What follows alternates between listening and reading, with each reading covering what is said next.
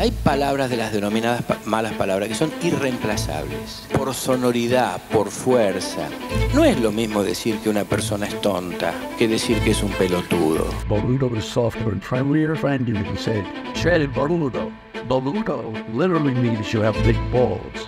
Then there is pelotudo, another insult, but this one is heavy, false means you have big and heavy balls.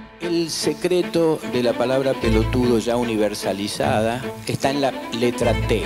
No es lo mismo decir sonso que decir pelotudo.